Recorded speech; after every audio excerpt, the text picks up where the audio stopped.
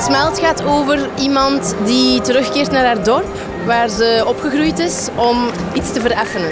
Ik had nog nooit echt geacteerd, dus het was zo vrij veel in één keer allemaal, uh, vrij nieuw. Maar ik ben super blij dat dit mijn eerste uh, ervaring mocht zijn. Met Veerle die zo, ons zo goed heeft begeleid en echt onze mama is nog altijd als acteur zit je toch wel altijd in een fragiele positie. En nu moet jij de sterke zijn en de vertrouwenspersoon en de ouder. En ik vind dat wel fijn om te voelen. Veerlen heeft echt daar een eigen draai ook al gegeven aan de film. En ik denk dat het voor een schrijver altijd ook een eer is om uiteindelijk zelf een keer publiek te kunnen zijn van je eigen verhaal. Want als je schrijft, dan voelt daar weinig bij in feite. Maar als je dan in de zaal zit en je kijkt naar dat verhaal, dan is dat toch weer iets helemaal anders. Dus ik ben wel vereerd.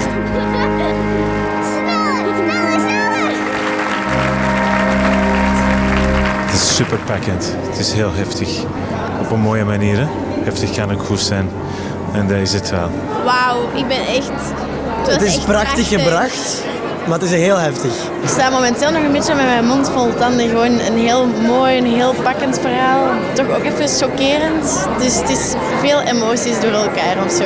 Ik ben ongelooflijk fan van de jonge cast. Maar echt ongelooflijk harde fan. Ik ben zo'n beetje fier op, op, op, heel, op heel de cast. Op, uh, ik heb er niks mee te maken, maar toch, het is supergoed gedaan. Onwaarschijnlijk knap gedaan en veel haar debuut. Het mag er wezen, echt waar.